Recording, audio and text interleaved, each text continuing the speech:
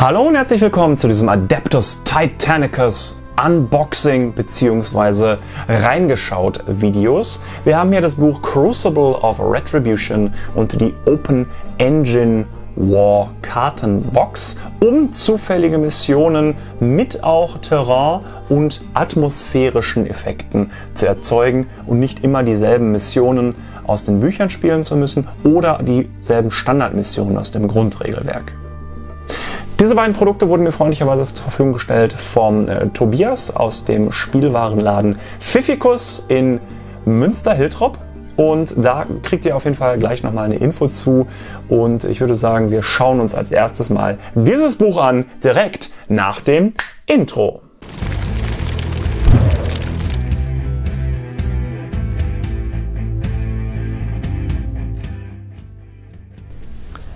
Und da haben wir nun das Buch A Crucible of Retribution. Wir sehen auf der Front schon einen schicken Warlord Battle Titan der Legio Ignatum. Und auf der Rückseite verrät uns dieses Buch natürlich auch, worum es geht, was wir auch schon vielleicht in der Warhammer Community schon gesehen haben. Es gibt äh, Hintergrundinformationen über den Krieg im Belt of Iron. Es gibt hier äh, Titanenlegionen, die dort mitgekämpft haben. Neue Manipel, neue Household-Regeln, beziehungsweise die für die Seneschals.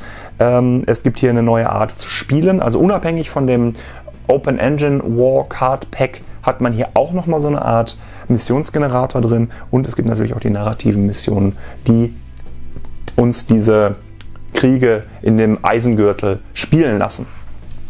Eine Legio aus diesem Buch interessiert mich auch sehr und wird gegebenenfalls auch bei mir noch Einzug halten. Deshalb kann ich an dieser Stelle sagen, wir blättern mal kurz durch. Es gibt einen ganz kurzen Eindruck und alles weitere, wie zum Beispiel die Manipel-Besprechung und die Legio-Besprechung, kommen dann in den Titanicus Tactic Talk Videos, die dann jetzt tatsächlich weitergehen. Erstmal mit einem Update. Das sind jetzt die neuen Manipel die noch nicht in den Videos abgehandelt wurden. Und dann gehen wir auch bei den Legios weiter. Zwischendurch gibt es dann auch nochmal ein Video für sowas wie den Warbringer Nemesis Titan und den Psy Titan. Also da geht es bald weiter. Seid auf Großes gefasst. Crucible of Retribution. Starten natürlich wieder hier mit unserem schönen doppelseitigen Kunstdruck, den wir immer haben der Ligophonicus. Da weiß ich nicht. Fände ich es, glaube ich, schön, wenn man äh, hier auch ein bisschen variieren würde. Vielleicht, dass dann mal ähm, dieses Sanctorum einer anderen Legio gezeigt wird. Aber das ist jetzt hier, weißt du, nitpicky. Das ist nicht schlimm. Once bearers of knowledge an empire falls, the galaxy burns illuminated no more. Und da haben wir dann auch schon einen Warhound Scout Titan zu sehen von einer der neuen Legios, die ich wahrscheinlich gar nicht mehr richtig aussprechen kann, denn die Namen sind schon ähm, schwierig für mich. Da werde ich dann vielleicht auf die englischen statt das hochgotische zurückgreifen.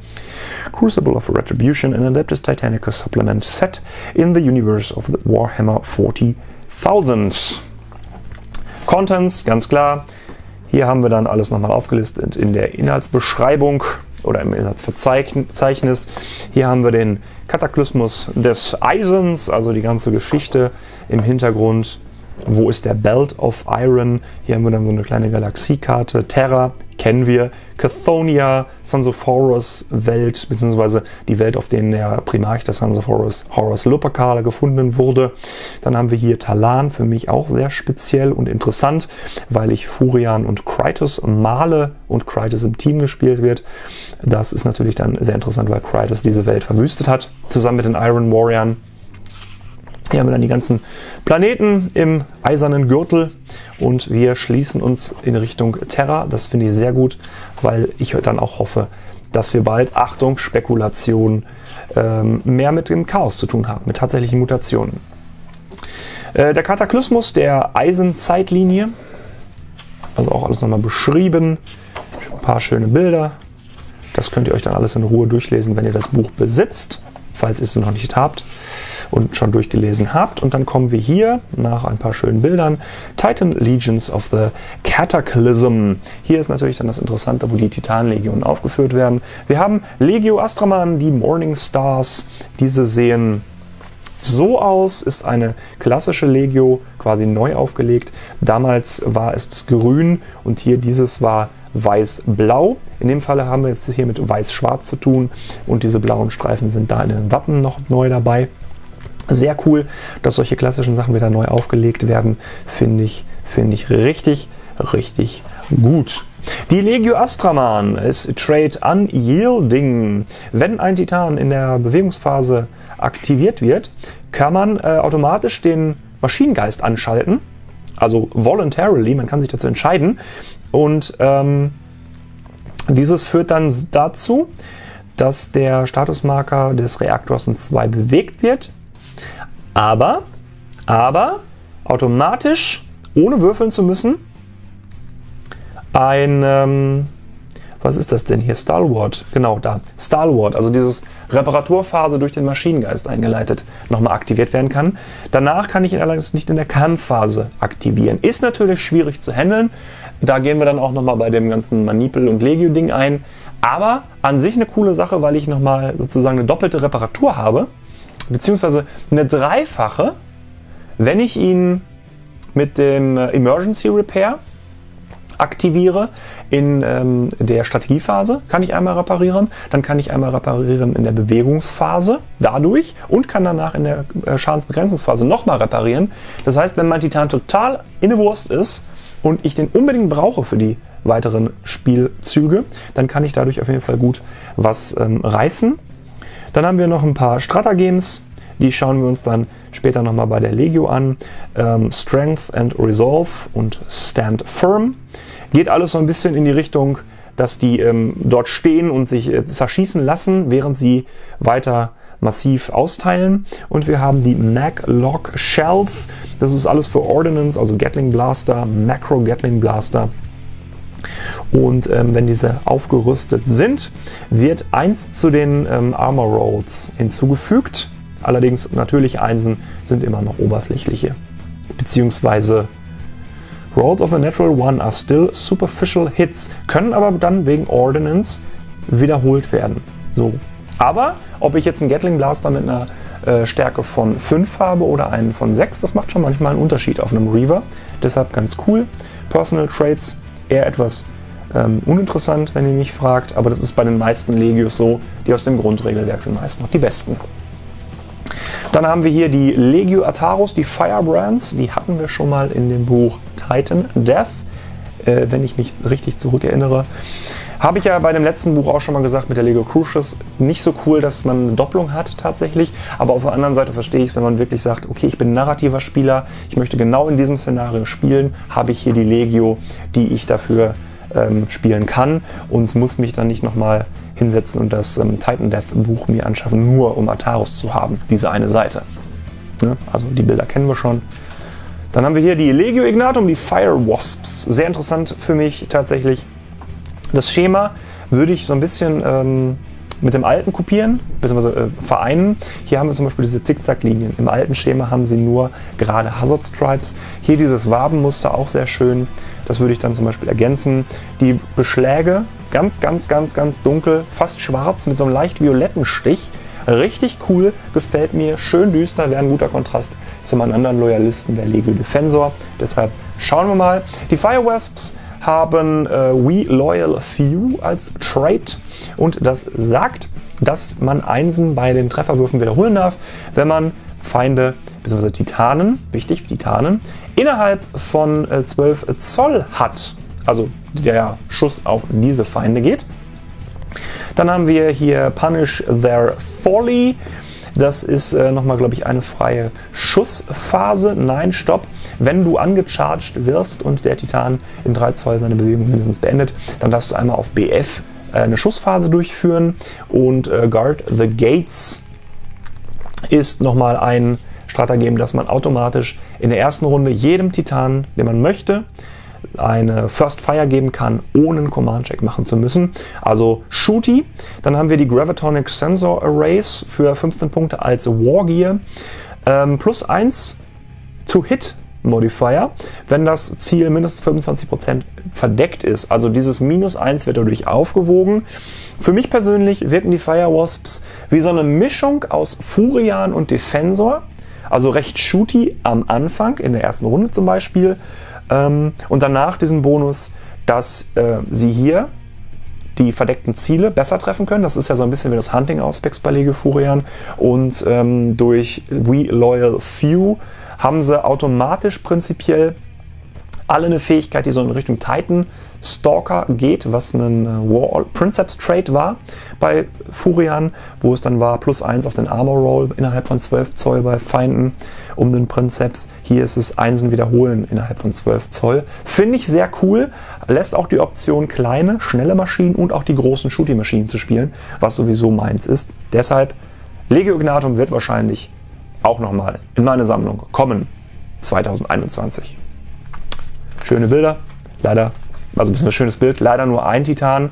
Ähm, da finde ich schade, dass man von der Legio Atarus, wo ja ähm, wir schon mal was hatten, trotzdem drei Titanen genommen hat und von Legio Ignatum, was was Neues ist, wo man sich hätte austoben können mit dem Farbschema, nur eins gewählt hat. Na gut, meckern auf hohem Niveau. Legio Venator, Loyalty above all. Legio Venator Titanen ignorieren Prinzeps verwundet ähm, als äh, kritische Kondition und zusätzlich, wenn äh, ein Legio Venator Titan äh, stirbt, dann kriegt ihr plus 1 auf die. Nein, andersrum, stopp, das war eine andere Legio. Äh, wenn ihr einen Legio Venator ähm, Titanen in der Nähe habt, um den Prinzip Senioris bekommt er plus 1 auf seinen Command-Check. Das war das. Genau. Also macht es zum Beispiel hier Sinn bei Legio Venator, viele kleine Manipel zu spielen, wenn ihr die Punkte habt, um dann ähm, mehrere Princeps Senioris auf dem Tisch zu haben, dass die als sozusagen äh, kombinierte Einheit jeweils den Bonus bekommen. Legotrite ist auch noch One Mind. At the beginning of each round, titans within friendly Legio Venator maniples may be formed into squadrons. Each squadron may contain a maximum of two titans. Ich lese daraus, dass ich auch äh, alle möglichen Titanen der Legio Venator in Schwadrone aufteilen kann. Das heißt, ich könnte auch zum Beispiel einen, einen äh, Reaver und einen Warlord zusammenpacken. Das Einzige, was sie nicht dürfen, ist Shield Merge, aber profitieren sonst von allem, also gleichzeitig aktivieren. Ähm, Schwadronsbefehle und auch Coordinated Fire, was natürlich dann bei großen Maschinen richtig böse wird. Ähm, Habe ich erst auch so gedacht, liebäugeln, aber das ist dann schon wieder richtig hartes Spiel, wenn man das ausnutzt. Dementsprechend ähm, ist es eigentlich nicht ganz so mein Spielstil. Aber eine coole Sache, dass man jetzt eine Legio hat, die sowas auch kann. Zusätzliches Legio Trade Mobile Force. Sie dürfen einen Reaver Titanen in ein äh, Manipel reinpacken, das eigentlich als Mandatory einen Warlord hat. Ganz cool. Dafür haben sie allerdings keine speziellen Strata-Games. Das ist aber okay mit drei Trades. Und die Legio Specific Wargear ist Blind Launcher, Blind Launcher, also im Prinzip sowas wie Nebelwerfer. Wenn sie aktiviert werden, dürfen sie nebeln und dadurch werden sie schlechter getroffen. Um eins, aber treffen auch um eins schlechter. Dieses dürfen sie tun, bevor sie schießen oder nachdem sie schießen, steht hier auch mit drin. Ist ganz cool. Das heißt, ich kann zum Beispiel sagen, ich beschieße jetzt den Feind. Das, der Titan, den ich aber gerade aktiviert habe, ist ein wichtiger. Nebel sofort danach und werde schlechter getroffen. Coole Sache. League Specific ähm, Personal Traits, gehen wir alles drauf ein, wenn wir die Legios durchgehen, Stück für Stück. Dann haben wir die erste Legio, die ich wahrscheinlich nicht vernünftig aussprechen kann, Legio Lanis Cara, also die Impalers. Impalers wirken sehr, sehr wild nach vorne durchgehend. Äh, Legio Trade ist Direct Measures. Einmal pro Runde kann ein einzelner Titan der Impalers ähm, seinen geboosteten Speed nutzen, ohne den Reaktor äh, hochzufahren. Dann haben wir hier das Legio Trade Bullish. Sehr cool, gefällt mir. Zusätzlich zu allen Attacken, die er macht, darf er eine Smash-Attacke machen. Das heißt, das heißt, ähm, when making attacks as part of the charge order. Genau, so war das. Das heißt, ich kann angreifen, mit zum Beispiel einer Kettenfaust bei einem Reaver zuschlagen und dann zusätzlich eine Smash-Attacke machen. Das ist sehr geil.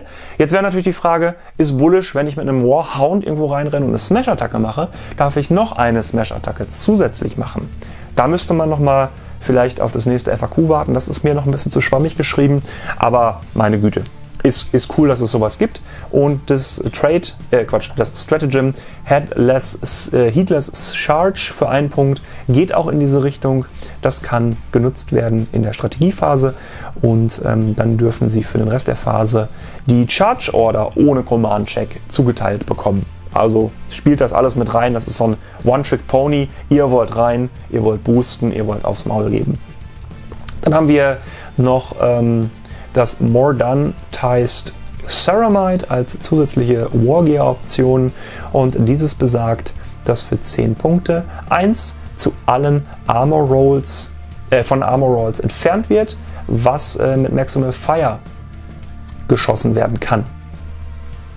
An attack made by a weapon with maximal fire trait. Das heißt, wenn jetzt so eine Plasma Blast Gun kommt oder ein Sun Fury Plasma Annihilator, wird er nicht mehr plus 1, sondern äh, plus 2, sondern noch plus 1. Allerdings auch andere Sachen, wo vielleicht in einer Legio Maximal Fire auch für eine andere Waffe hinzugefügt werden kann oder durch diese spezielle Stratagem man einer Waffe Maximal Fire geben könnte. Finde ich tatsächlich sehr cool. Uh, the negative modifier is applied even when the attacking unit is not using maximal fire trait. Also hat er seinen Fury Plasma Annihilator nicht mehr Stärke 8, sondern nur noch Stärke 7. Sehr cool. Hier haben wir auch so ein paar Doppelungen. Wir haben hier jetzt zum Beispiel Cruel.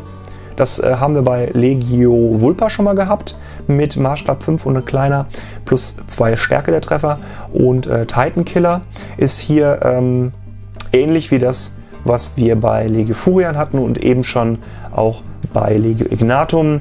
Ähm, hier in dem Falle sind es Armor Rolls von 1 wiederholen dürfen gegen feindliche Titanen. Also kommt das von der Mathematik ungefähr auf selber raus. Dann haben wir noch ein paar schöne Bilder von denen. Hier mit diesem, ähm, was ist denn das, Türkis, dunkelgrau Anthrazit. Hier einmal gespiegelt. Der Untergrund ist Anthrazit und das Muster drauf, dieses, ich würde es fast sagen, wieder besseren Wissens, Maori-Muster ähm, in Türkis drauf. Ist eine Verräterlegio, würde ich jetzt mal einfach sagen. Ich habe mir tatsächlich die, das Narrativ noch nicht durchgelesen. Ähm, das kombiniert, was die können, mit dem Allegiance Traitor Ding, ist schon böse. Das heißt, sie können noch weiterlaufen und haben noch mehr Charge-Optionen. Hm. Dann haben wir die nächste Legio, die ich wahrscheinlich nicht aussprechen kann. Die Legio Kulisetai, die äh, Gatekeepers. Die Gatekeepers haben das Legio-Trade Callous und sie werden nicht davon äh, beeinträchtigt, wenn äh, ein Reroll für den Command-Check getätigt werden muss durch irgendetwas, zum Beispiel durch einen Buff eines Gegners. Das war's. Dafür haben sie aber zwei Stratagems, Steadfast Bastion und Methodical Advanced. Gucken wir uns dann in Ruhe an. Und äh, die Wargear ist die Accelerated Auto Loaders, äh, Loaders. Die sind für Apocalypse Missile Launcher. Und ähm, hier steht dann auch immer drin, dass die separat equipped werden müssen. Heißt das jetzt, finde ich nämlich ein bisschen komisch beschrieben hier in dem Falle, ähm, der Autoloader kostet 20 auf normalen Launcher und kostet 40 auf dem Doppellauncher vom Warlord? Hm, weiß ich nicht. Ist in dem Falle so, dass ihr äh, eine zweite Schussattacke machen könnt nach der ersten. Dann ähm, werden die Treffer allerdings mit minus 1 abgehandelt und nachdem das abgehandelt wurde, sind die Waffen für, ähm, für, den, ähm, für den nächsten Zug sozusagen deaktiviert. Beziehungsweise für den Rest des Spiels, so war das genau. Die können nicht wieder repariert werden. Das heißt, der Autoloader wird einmal aktiviert und dann war es das, dann könnt ihr die Waffe nur noch normal abschießen. Um, this upgrade has no further effect for the remainder of the battle, even if the weapon is subsequently repaired. Das ist das. Also ich schieße einmal doppelt. Beim Doppelschießen schießt ihr mit der zweiten Salve mit minus 1 und danach ist das Autoloader Upgrade erstmal weg und die Waffe deaktiviert, müsst ihr in der nächsten Runde wieder reparieren. Bei einem großen Raketenwerfer auf einem Warlord sehe ich dann Sinn. Bei einem, bei einem ähm, kleinen Raketenwerfer auf einem Reaver eher nicht so. 10 Schuss, meine Güte. Hm, für 20 Punkte. Muss nicht. Ähm, sehen aber schick aus, tatsächlich mit diesem geteilten Schema. Hier auch so mit so Rost runterlaufen. Das ist immer sehr schön auf hellen Passagen. Auf dem roten kommt das natürlich nicht ganz so gut. Und wir haben die nächsten. Die Legio Tritonis, die Dark Tide. Ähm, Tide of Iron. Any Legio Tritonus Maniple may select a Warlord Titan in place of a Reaver Titan as mandatory. Ja, also wenn ihr jetzt einen Reaver habt, den ihr nehmen müsst, könnt ihr einfach einen Warlord rein switchen. Zum Beispiel äh, Venator. Ja, Venator, Light Manipul, äh, hat einen Reaver und zwei Warhounds, packt dann einen Warlord rein und zwei Warhounds. Hier steht jetzt aber auch nicht, dass ähm, der dann nicht so zählt, als wäre er Teil des Manipels und wäre von den Regeln betroffen. Deshalb müsste man da auch nochmal aufs Errata warten, wie denken Sie sich das? Weil das ja bei Legio Fortidus, meine ich, auch schon mal dann erratiert wurde, dass der Warlord dann zum Beispiel in dem Falle nicht frei schießen könnte.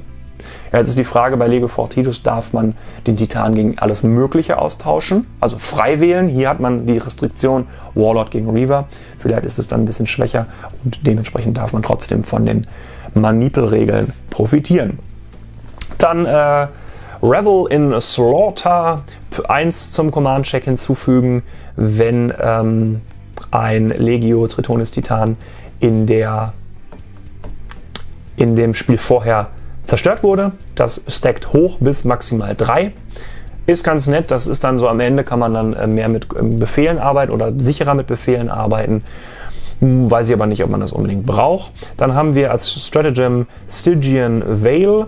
Wir haben als Lego Specific Wargear die Radiative Warheads für Apokalypse Launcher, einzeln oder doppelte. Plus 25, äh, wenn natürlich kein anderes Upgrade auf dem Launcher ist. Und ähm, diese sind dann so, dass sie gegen Void Shields, also gegen Titanenschilde, natürliche Sechsen beim Treffen einen doppelten Treffer machen. Ist ganz nice, wenn man viel mit Raketenwerfern spielt. Wenn nicht, hat man natürlich mit Lego Tritonis nicht ganz so viel äh, Spaß, denke ich. Generell, diese ganzen Legos, die hier drin sind, wirken etwas shootier ähm, wenn sie den Shooty sein sollen. Dann haben wir die äh, Legio Damicium oder Damicium, die Unbroken Lords. Äh, Trifling Pain. Wenn sie aktiviert werden in der Bewegungsphase, kann man einen, ähm, einen äh, gewählten kritischen Schaden ignorieren äh, bis zum Ende der Kampfphase. Also ein ähm, äh, Princeps, nein, wie heißt das? Moderati Wounded für schlechter Treffen zum Beispiel, dürft ihr einfach sagen, nee, das möchte ich nicht. Und dann könnt ihr in der Kampfphase danach ganz normal schießen. Oder wenn die Beine beschädigt sind und ihr euch weniger bewegen könntet, ignoriert ihr das für die Runde. Ähm, dann ist allerdings die Situation, dass sie kritische Schäden auf die 4 Plus auch noch reparieren können, statt auf die 5 Plus. Finde ich ganz cool, macht sie ein bisschen, ein bisschen besser, was diese Nerfs angeht, die man durch die kritischen Schäden bekommt. Legal Trade ist dann auch noch Envious. Eins zu Command-Checks hinzufügen, wenn ähm, mindestens ein Titan von der gleichen Größe des Maßstabs oder größer ähm, sichtbar ist. Ist sichtbar in der Front Arc oder muss ich nur eine Linie ziehen können? Weiß ich nicht. Ähm, das müsste man vielleicht auch noch mal ein bisschen besprechen. Ich denke mal, man muss ihn einfach nur sehen können. Irgendwo neben sich, hinter sich, sonst was. Und dann äh, kriegen Sie auf jeden Fall diesen Plus 1 Command Check, ist auch ganz cool. Sehr viel wird damit in dem Buch gearbeitet. Sie haben Endurance Beyond Limit als Stratagem und die äh, Secondary Plating als Legal Specific Wargear besagt für plus 10 Punkte, dass der erste kritische Schaden, den die bekommen, zu einem Devastating Hit wird, also diesen zwei Schadenspunkte und danach war es das. Dann ist das Ding weg, aber ihr kriegt den kritischen nicht. Dann kommen wir zu den Maniple. Die werden natürlich im Einzelnen nochmal beleuchtet mit den Kombinationen der Legios in den entsprechenden Videos, die dann da noch kommen. Wir haben das Ignus Light Maniple auf der linken Seite bestehend aus drei Warhound Scout Titans und einem Cerastus Knight Banner. Wird aufgerüstet mit zwei Warhound Scout Titans und zwei weiteren Cerastus Bannern. Einzige Voraussetzung, Cerastus Knight Banner müssten hier in dem Falle als Cerastus Knight Acheron gespielt werden. Und das Maniple Trade ist Scorched Earth. Ihr dürft Einsen, äh, einen Würfel, so rum, Entschuldigung, einen Würfel hinzufügen zu allen Waffen, die mit Firestorm Trade aktiviert werden. Also Flamer of Warhounds, Flamer der Night Asherans. Und ihr dürft Einsen wiederholen beim Armor Roll eben dieser Waffen. Und dann noch diese coole Extra-Option, die mich so ein bisschen an das Janissary Light Maniple erinnert. Die Night Asherons, wenn sie innerhalb von 6 Zoll um einen Warhound aus diesem Manipel stehen, dürfen sie einen First Fire oder Full Stride bekommen, ohne dass sie einen Command-Check machen müssen. Ähm, was natürlich Optionen gibt. Hier sehr, sehr ähm, synergetisch zu spielen. Wenn ihr zum Beispiel drei Warhounds hier in einem Schwadron spielt und ihr habt hier dreimal diese Banner mit den Knight Asherons, dann könnt ihr natürlich, wenn ihr die gut positioniert, alle drei Banner, wenn ihr vorher gut gespielt habt, ein First Fire geben, die flamen sofort, während das komplette Schwadron aktiviert wird. Also es ist so ein, so ein ins-Gesicht-Ding. Werde ich gerne mal ausprobieren, weil äh, Warhounds sind mein Ding, Knight Asherons habe ich auch. Und dann können wir mal gucken, wie das wirklich funktioniert. Und dann haben wir noch das Precept Battle Line Maniple. Ist eine Variation des Axiom. Der eine Reaver, den man im Mandatory hat, wird gegen einen Warbringer ausgetauscht. Seht ihr hier. Und sie haben Flexible Tactics als Maniple Trait. Und dieses besagt, dass ähm, in der Strategiephase, bevor irgendwelche Befehle gegeben werden können, ihr einen Befehl festlegt und für diesen Befehl, wenn ein Titan diesen auch haben möchte, bekommt er plus 2 für den ähm, Command-Check. Alle anderen ähm, Modifikatoren, positiv oder negativ, werden dann allerdings ignoriert. Und ähm, das macht ihr natürlich ganz gut, wenn ihr sagt, ich brauche für alle Titanen jetzt einen Full Stride. Dann bekommen alle Titanen, wenn sie den Full Stride machen, plus 1 auf ihren Command-Wert, was nicht schlecht ist möchte ich behaupten. Es können aber auch andere Befehle nehmen. Also es ist nicht so, ich gebe jetzt den äh, aus und dann können die nur den Befehl geben. Macht es schon wieder recht flexibel im Verlauf eines kompletten Spiels. Das waren die Manipel. Kommen wir zu den Nightly Households. Ähm, hier geht es dann um diese ganzen kleinen Häuser. Die haben alle nur Seneschal Trades. Guckt euch die an, wenn ihr das Buch habt. Finde ich jetzt nicht so spannend für mich, da im Einzelnen drauf einzugehen, denn ähm, die Seneschal Trades aktiviert ihr im Moment ja auch nur, wenn ihr einen kompletten Nightly Household von diesem Haus spielt. Dementsprechend nicht so, ähm, nicht so potent wie jetzt zum Beispiel die Titanlegion, wie die sich auswirken. Dann haben wir die narrativen Missionen, also die, die entsprechend der Geschichte sind. Zack, zack. Und dann kommen wir hier gleich zu Echoes of Glory. Hier haben wir eine Möglichkeit eines Missionsgenerators, ähnlich der Karten, die wir haben, allerdings im Buch. Wir können hier auswürfeln, was für eine Welt haben wir. Eine Todeswelt, eine Schmiedewelt oder eine, eine Hive World, ähm, Makropolwelt. Ähm, diese wird dann nochmal ausgewürfelt mit dem W6, äh, welche Mission man dann da spielt auf dieser Welt. Und die haben wir dann hier aufgelistet. Zum Beispiel Todeswelt Stronghold. Hier haben wir einen, äh, weiß ich nicht, Lavafluss oder einen Abgrund. Darüber sind drei Brücken, die ganz klar deklariert sind, äh, wie sind die in der Entfernung vom äh, Spielfeldrand, wie breit sind die und so weiter und zusätzliche Optionen, die dann noch gespielt werden können. Und dann habt ihr natürlich die Möglichkeit, hier nochmal zusätzlich coolere Missionen zu spielen, wenn ihr das Gelände habt. Dann haben wir zum Beispiel hier in der Death World die Frozen Wastelands. Biting Cold. Ähm, Plasma Venting geht auf die 3 Plus statt auf die 4 Plus. Ist so eine Sache. Ähm, und Reaktor Leck erhöht nicht die Reaktorstufe, also Reaktor Leck 1. Ist auch eine ganz coole Sache. Tunnelkrieg, da hat man tatsächlich ähm, Line-of-Sight-Blocker, die Infinitive Height haben, also unendlich hoch sind und dementsprechend auch ähm, das Spiel ziemlich begrenzen zu einem CQC Massacre machen. Also Nahkampf-Titanen haben da auf jeden Fall einen Bonus. Ähm, Research Station, die Hell Forge. Convoy Assault, auch eine ganz coole Sache. Da habe ich mir für den 3D-Drucker nämlich was rausgesucht, wo ich einen Konvoi darstellen könnte. Die Belagerung einer Makropolwelt und so weiter und so weiter und so fort. Und hier haben wir nochmal schön dieses Bild, was in der Warhammer World auch zu sehen ist, wo Legio Mortis gegen Legio Astorum zieht wo Legio Astorum hier hinten aus der Stadt rauskommt. Das sieht dann nach so einer Belagerung einer Schwarmstadt aus. Ähm, sieht ganz geil aus. Würde ich mir gerne mal live angucken. Ich hoffe, dass wir nach der Pandemie dazu auch eine Möglichkeit haben, dann nochmal rüber zu gehen und vielleicht auch nicht äh, ganz Warhammer World zerbombt ist. Das ist das Buch, das Spannende an dem Ding. Und jetzt gibt es mal ein paar Worte zu unserem heutigen Sponsor. Hier als kleinen Werbeeinspieler für das Sponsoring des heutigen Videos ist der Tobias aus dem Pfiffikus in Münster-Hiltrup und ähm, er möchte mit mir in Zukunft mehr zusammenarbeiten. Wer den letzten Adeptus Titanicus Spielbericht gesehen hat, war glaube ich der letzte, der ähm, wird auch schon am Ende dieses gehört haben.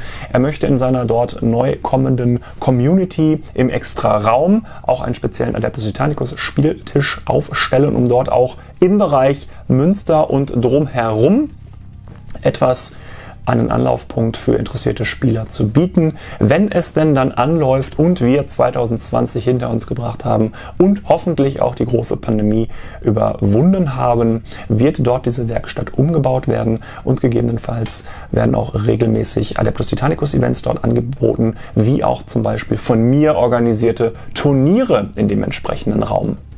Wenn ihr also Bock habt, irgendwie da in diese Community reinzukommen und Interesse habt, schaut gerne einfach mal vorbei. Ich verlinke euch die Adresse unten im, äh, in der Videobeschreibung von dem Spielwarenladen Fifikus und dann könnt ihr dort mit dem Tobi vor Ort am besten mal quatschen, wie er sich das vorstellt und wie weit denn auch die Planungen sind.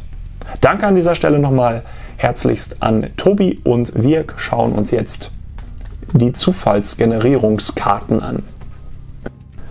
Da sind dann nun noch die Karten aus dem Open Engine War Card Pack für euch. Das ist alles, was drin ist. Diese fünf Stapel an Karten und dieser eine, diese eine Karte doppelseitig bedruckt, die äh, uns sagt, wie nutzen wir das Ganze denn.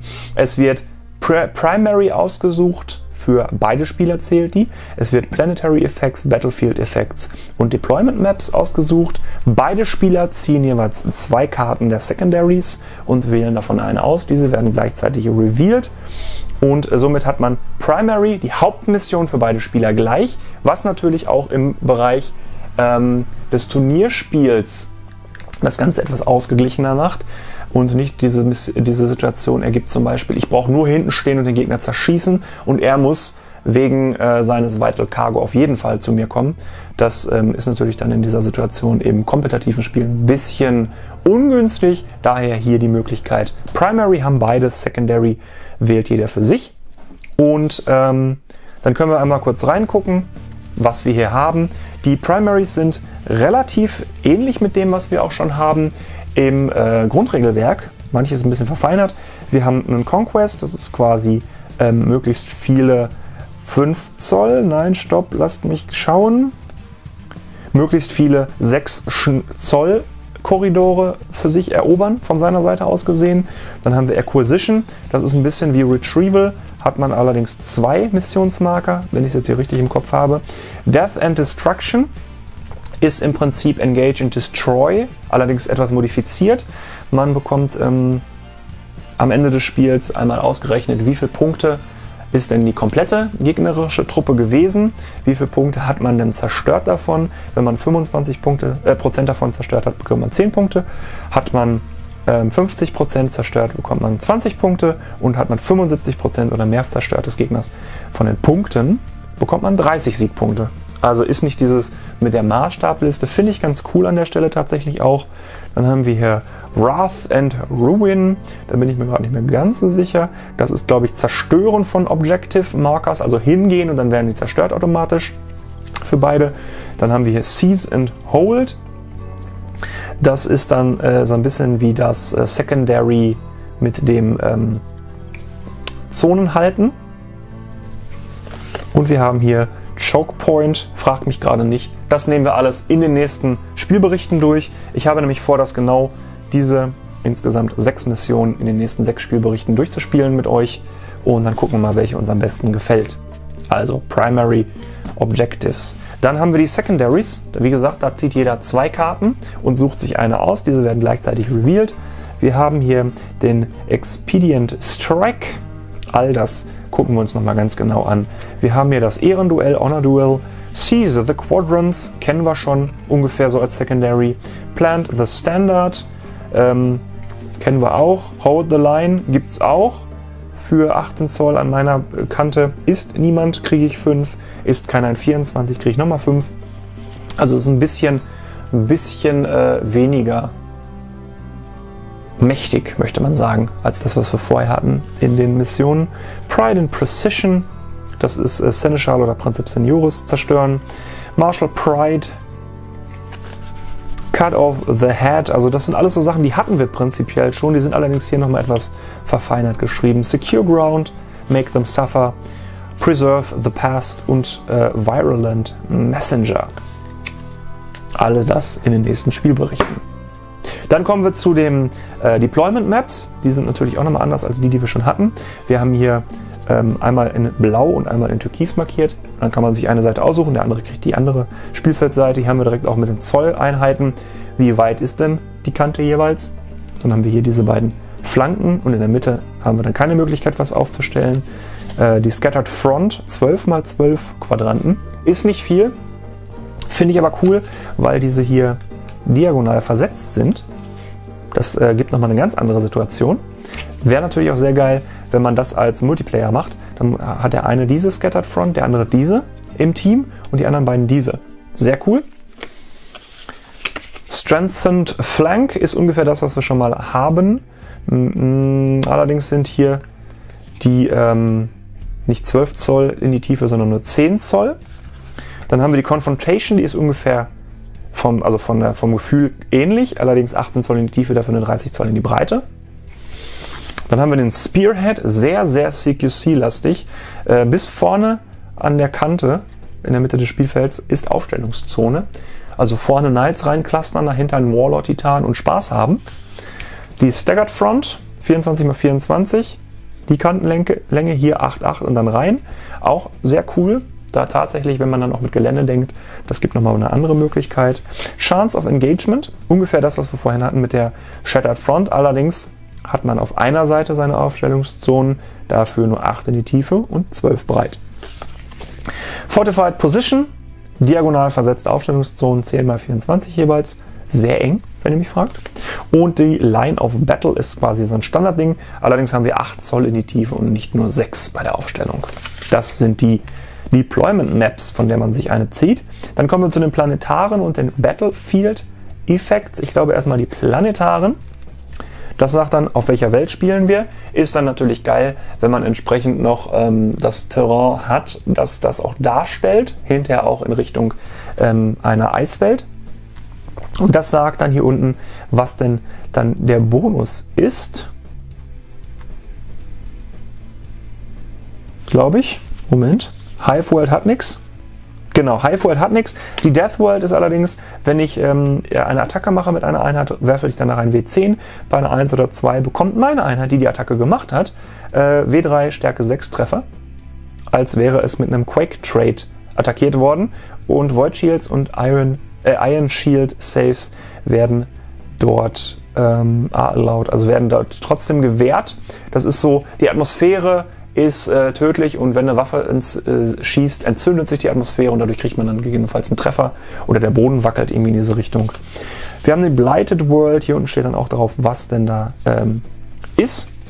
Wir haben Shattered World, also gebrochene Welten, dazu gibt es gar kein Bild. Riesengroßer Text, sehr, sehr spannend, gucken wir uns auch an. Die äh, hier, genau, Arctic World, das ist äh, Vent Plasma auf 3 Plus statt auf 4 Plus. Dafür ähm, allerdings Critical Hits reparieren nur auf die 6 statt auf die 5. Toxic World, Arid World, War World. In der Endphase würfelt jeder Spieler einen W6 und auf die 2 Plus bekommt äh, kann man eine äh, Attacke verteilen auf ein beliebiges Ziel seiner Wahl. Äh, diese Attacke hat W6 Stärke 8 Treffer. Ähm, und auf der 1 darf mein Gegner für meinen Würfelwurf was aussuchen an Zielen. Ähm, ist natürlich eine spannende Sache. Das ist dann so ein bisschen Artilleriebombardement. Äh, trifft dann jemanden noch zusätzlich oder es sind noch Panzer auf dem Schlachtfeld, die zusätzlich jemanden treffen. Wäre eine Sache, die ich auf jeden Fall in einem der nächsten Spielberichte machen möchte, weil da auch die ganzen kleinen Modelle, die ich habe, für ähm, Microhammer auch zum Tragen kommen können. Industrial World, ähm, Firestorm Trade Waffen bekommen einen zusätzlichen Würfel und man bekommt einen zusätzlichen Stratagem-Punkt, den man als Battlefield Asset ausgeben kann. Und die Forge World, äh, zwei Stratagems-Punkte, die man als Battlefield Asset ausgeben kann. Und zusätzlich haben alle Titanen einen Servitor mehr zum Reparieren. Auch cool. Wäre natürlich auch sehr cool, wenn man eben entsprechendes Gelände hat, um das dann auch darzustellen. dass man sich vielleicht vorher festlegt, okay, diese Welt ist es, jetzt bauen wir das Gelände auf und dann gucken wir nach den ähm, Aufstellungszonen, Missionen und den Kampfplatz, äh, Battlefield, haha, nein, äh, Schlachtfeld. Konditionen. Da haben wir nämlich sowas wie Vox Screech. Wann immer der Maschinengeist äh, gewählt, äh, gewürfelt wurde bei einem ähm, Command-Check, wird kein Command-Check gemacht, um das zu unterdrücken. Nein, Command-Check, Maschinengeist, wenn ich zum Beispiel einen Reaktor ziehe. So ist das, Entschuldigung. Ähm, viel geredet jetzt schon in dem Video. Ähm, wird der Maschinengeist automatisch erweckt und dann passiert halt was. Und Psi-Titan und Corrupted Titans sind von dieser Regel nicht ähm, betroffen. Finde ich auch sehr cool, dieses Bild mit diesem äh, groß verpixelten ähm, Castigator Knight. Dann haben wir hier die Vox Ghost. If a unit rolls a natural one when making a command check, the opposing player may issue the unit an order with. Und ähm, das ist auch sehr cool. Mach einen Command Check und würfel 1, sagt der Gegner einfach, pass mal auf, der bekommt den Befehl, hm. Wenn zum Beispiel was ist, ich möchte jemanden anchargen, dann kriegt er halt nur den Befehl, ähm, dass er Full Stride hat, was ihm die Möglichkeit nimmt zu schießen oder sonst irgendwas. Wichtig ist allerdings, Shutdown kann da nicht gegeben werden auf diese Art und Weise. Aber auch sehr cool. Ähm, auch das Bild darauf, das mag ich tatsächlich. Dann haben wir das Flooded Battlefield.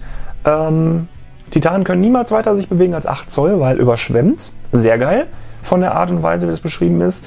Ähm, und man bekommt minus 1 ähm, Hit Modifier auf äh, Night Banner, die auch nur die Hälfte sich bewegen können, maximal. Auch sehr cool. Kommt natürlich noch mal dazu. Pitch Black, ähm, weiter als 12 Zoll kann ich nicht äh, attackieren.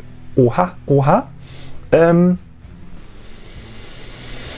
hmm, can only make attack against target within 12 inches unless the target unit has already made an attack with a weapon without the melee trait or has made the vent plasma action this round. Also, wenn ich Plasma ablasse, wird es um mich herum hell. Wenn ich schieße, wird es um mich herum hell. Dann kann ich beschossen werden, es sei denn, ich habe vorher mit einer Nahkampfattacke äh, nur äh, was gemacht, dann natürlich nicht, weil es dunkel bleibt. Sehr coole Sache. Ich stelle mir gerade vor, irgendwie so eine Schmiedewelt, ähm, auf der es sehr, sehr, sehr dunkel ist und dadurch auch das ähm, zum Effekt kommt. Oder eine Kriegswelt, Nachtkampf. Sehr cool. Geysire, die aus dem Boden hervorbrechen. Ich lese jetzt nicht alles im Einzelnen vor. Das sehen wir in den nächsten Wochen, Monaten, Jahren in den Spielen. Dann haben wir hier den Unstable Ground. Wenn man äh, die Locomotions pusht, dann äh, muss man würfeln und gegebenenfalls kriegt der Titan äh, Treffer an den Bein. Kennt man ungefähr so von den Minen. Dann haben wir dichten Smog. Um, ähm, further away than twice the target's scale automatically misses. Also ich habe einen Warlord, auf den ich schieße. Bin ich weiter weg als 20 Zoll, verfehle ich einfach. Sehr coole Sache eigentlich, weil das so ein bisschen ist wie das im Dunkeln kämpfen, aber dann nochmal davon ausgeht, dass größere Ziele ähm, einfach besser getroffen werden können auch. Dann haben wir hier nochmal den Mist. Dann äh, 1 von Trefferwürfen abziehen, wenn du weiter bist, weg bist als 15. Corrosive Haze gibt äh, Schaden. Add 1 to results of all armor rolls. Lightning Storm. Alle Waffen mit Void Breaker Trait ähm, haben ihre Value in Brackets bei 1 erhöht oder um 1 erhöht. Das ist ja Voidbreaker so und so, 1, 2 oder sonst was. Ähm, in jeder Endphase kriegt ein Titan mit einem Void Shield Treffer, weil er bei, äh, vom, vom Gewitter getroffen wurde. Ist dann ein einzelner W, äh, eine einzelne Stärke. 8 Treffer auf den Körper. Spannend. Radiation, alles ist verstrahlt und äh, Conflagration, das gucken wir uns auch nochmal in Ruhe an. Da haben wir jetzt keine Zeit zu, weil dieses Video sowieso schon viel zu lang ist.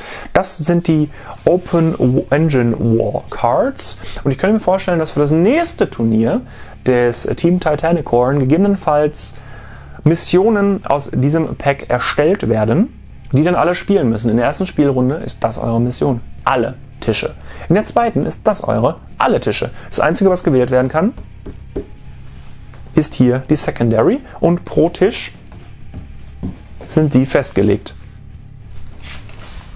Das spielen alle, grundsätzlich an allen Tischen.